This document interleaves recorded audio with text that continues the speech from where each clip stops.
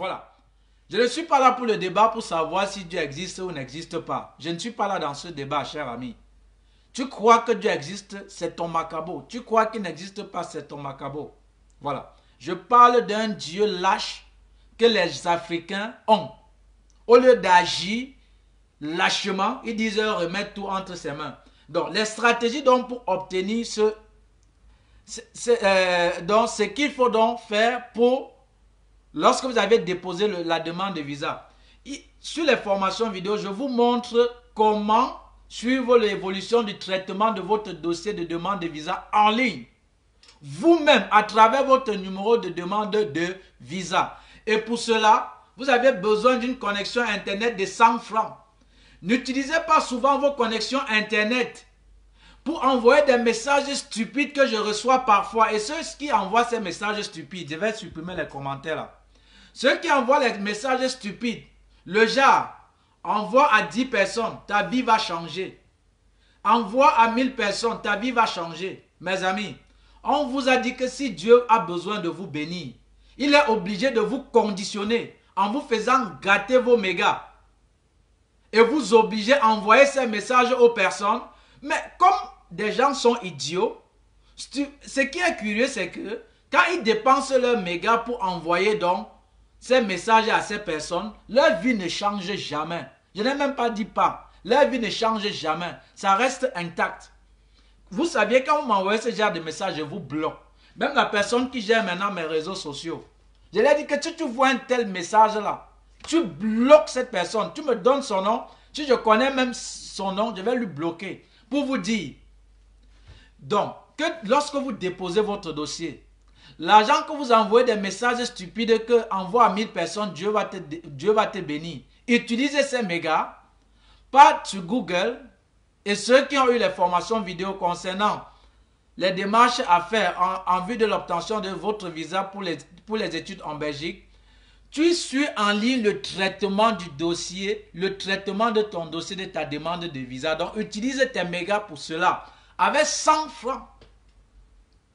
Que ce soit en Côte d'Ivoire, au Ghana, au Burkina, parce que vous êtes nombreux à me suivre. Tu as cette connexion Internet à travers ton téléphone qui est maintenant rien. Deux, autre moyen pour donc suivre vos dossiers que d'aller chez le prêtre encore que je vous ai dit, ou chez le pasteur, surtout même parfois les filles. Vous allez avec vos rembourrés. Pasteur, pardon, j'ai déposé ma demande de visa, ça va faire deux ans, je n'ai pas.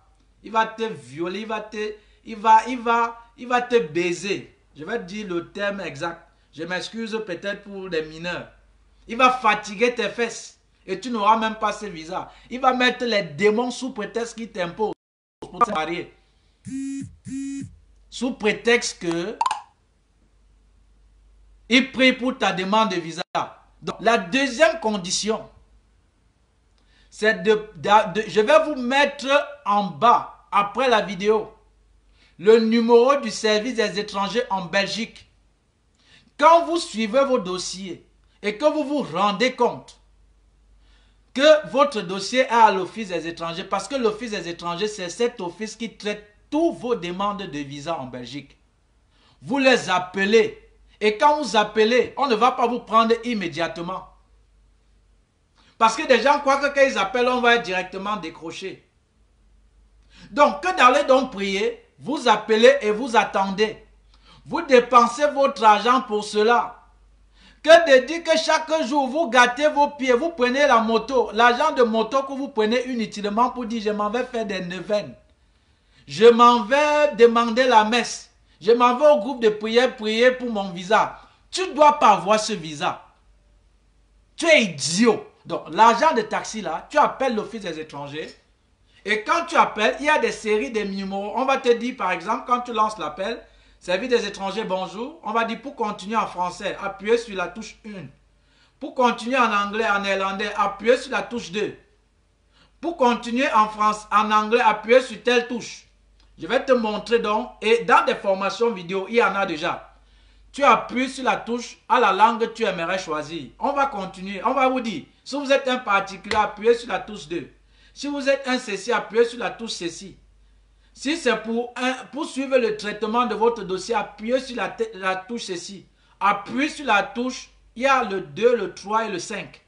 Tu appuies sur le 3 pour le traitement de dossier. Après le 5, on va vous dire, si vous êtes un avocat, appuyez sur ceci. Si vous êtes un parti, bref, il y a toute une série. Et en ce moment, cher ami, on va te dire où se trouve, le où se trouve votre demande de visa.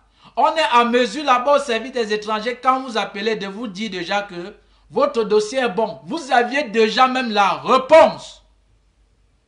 Avant même que l'ambassade de votre pays d'origine ne vous appelle pour vous dire que vous avez obtenu votre visa. Voilà les deux méthodes primordiales d'obtenir, de suivre l'état d'évolution de votre dossier. Et j'ai bien intitulé la vidéo. Que faut-il faire? Lorsque vous aviez déposé votre dossier pour la demande de visa Faut-il prier? Faut-il remettre tout entre les mains de Dieu?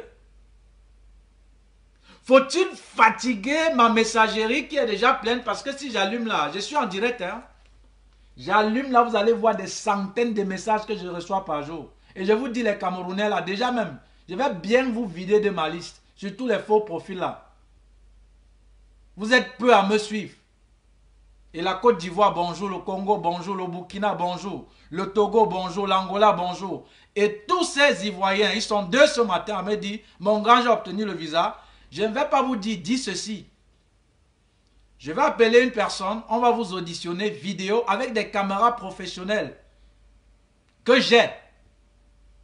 Vous allez dire à l'Afrique combien vous avez dépensé, combien cela vous a coûté.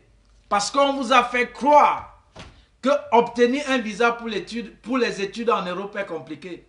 Ces gens que j'appelle la diaspora inutile.